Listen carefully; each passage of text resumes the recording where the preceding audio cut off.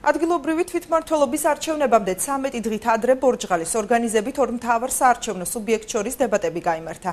აირჩია თვითმმართველობა პროექტის ფარგლებში დებატები ქართული ოცნებისა და ნაციონალური მოძრაობის სიის პირველ ნომრებს შორის უნდა გამართულიყო, თუმცა ირაკლი ჭეიშვილის გამოუცხადებლობის გამო დებატები საარჩევნო სუბიექტების სიის მეორე ნომრებს შორის შედგა. დეტალები სულხან მესხეთის სიუჟეტში. აირჩია თვითმმართველობა ასე ხქვია პროექტს რომლის ფარგლებში დღეს კოალიცია ქართული ოცნებისა და ერთიანი ნაციონალური მოძრაობის წარმომადგენლებს შორის დებატები გამართა პროექტის თანახმად დისკუსიაში პარტიის პროპორციული სიის პირველ ნომრებს უნდა მიიღო მონაწილეობა. თუმცა ფორმატის დარღვევა ირაკლი ჭეიშვილის გამოუცხადებლობამ გამოიწვია. ამიტომ დებატები სიის მეორე ნომრებს შორის გამართა ჩვენ შევთავაზეთ დებატებში მონაწილეობა ორ სუბიექტს ერთიან ნაციონალურ მოძრაობას და კოალიცია ქართულ ოცნებას. თითქმის ის ბოლო დრომდე მიღწეული იყო შეთანხმება და უნდა მიიღო მონაწილეობა ორივე სუბიექტის პირველ და მეორე ნომრებს. თუმცა ბატონ ირაკლისგან რამოდენიმე საათით ადრე დებატებამდე მიიღეთ ვარ. დებატებში მონაწილეობას იღებდნენ დემოკრატიის მთხრობელთა სკოლის წევრები და სტუდენტები.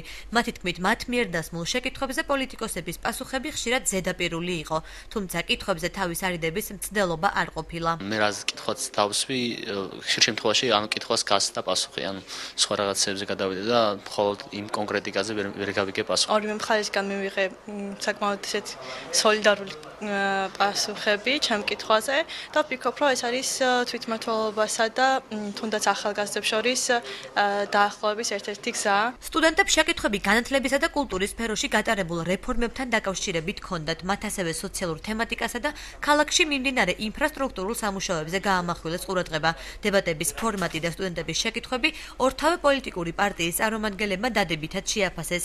რაც შეეხება ირაკლი ჭეიშვილის მიერ დებატებში მონაწილეობაზე უარის თქმას, მართველი გუნდის წევრი კობა ჩხაიძე განმარტავს, რომ ჭეიშვილს გაუთვალისწინებელი შეხვედრები გამოუჩნდა.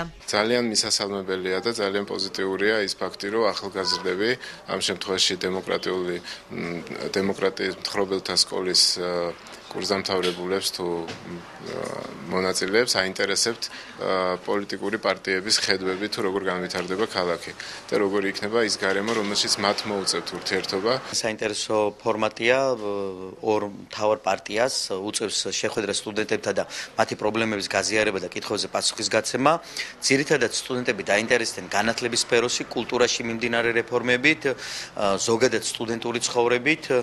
რა თქმა უნდა იყო შეკითხვები რომელიც ეხებოდა სოციალურ სოციალურ სფეროს და ასევე ქალაქში ინფრასტრუქტურის განვითარებას და ეს რა თქმა უნდა არის მისასალმებელი. დებატებს ორგანიზებას ორგანიზაცია ბორჯღალი უწევდა პროექტის საარჩევნო სისტემების განვითარების, რეფორმებისა და სწავლების ცენტრის ფინანსური მხარდაჭერით განხორციელდა.